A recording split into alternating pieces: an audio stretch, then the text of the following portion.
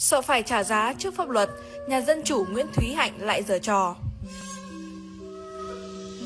Nguyễn Thúy Hạnh, sinh năm 1963, là một trong những đối tượng có các hoạt động chống phá đảng nhà nước và đã bị Công an thành phố Hà Nội thi hành lệnh bắt tạm giam, lệnh khám xét về tội làm tăng trữ phát tán hoặc tuyên truyền thông tin tài liệu vật phẩm nhằm chống nhà nước, quy định tại Điều 117 Bộ Luật Hình sự năm 2015. Nguyễn Thúy Hạnh được đám dân chủ cuội biết đến là kẻ khởi xướng của quỹ 50K. Đây là quỹ mà y lập ra theo kiểu lập lờ đánh lận con đen, lợi dụng tinh thần tương thân tương ái của một số người nhẹ dạ cả tin để thực hiện cho hoạt động chống phá đảng nhà nước Việt Nam.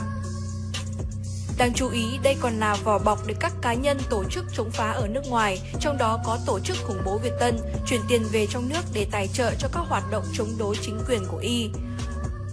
Qua đó có thể thấy Nguyễn Thúy Hạnh là kẻ cũng có đầu óc, hoạt động ma mãnh không kém ai trong đám dân chủ. Ấy vậy mà gần đến ngày xét xử, đám dân chủ quậy cũng như bản thân Nguyễn Thúy Hạnh bỗng nhiên cho rằng bản thân Nguyễn Thúy Hạnh bị tâm thần.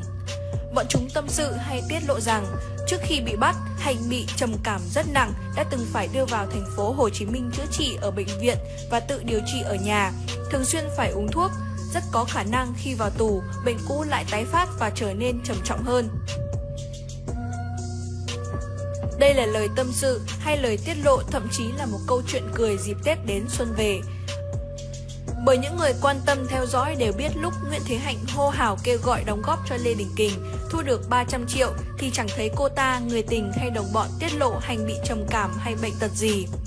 Hay lúc lên mạng chửi bới chính quyền, bôi nhọ chế độ, y cũng không tự nhận mình bị trầm cảm hay mắc bệnh tâm thần. Ấy vậy mà khi chuẩn bị ra tòa, bệnh tật đâu lại lòi ra, nghe có vẻ rất nghiêm trọng. Được biết trước Hạnh, một số kẻ dân chủ khác như Lê Trọng Hùng, Nguyễn Viết Dũng cũng bỗng nhiên bảo bị bệnh tâm thần và phải vào bệnh viện để giám định. Còn kết quả ra sao thì quý khán giả biết rồi đấy. Chạy đâu cho thoát khỏi sự trừng phạt của pháp luật.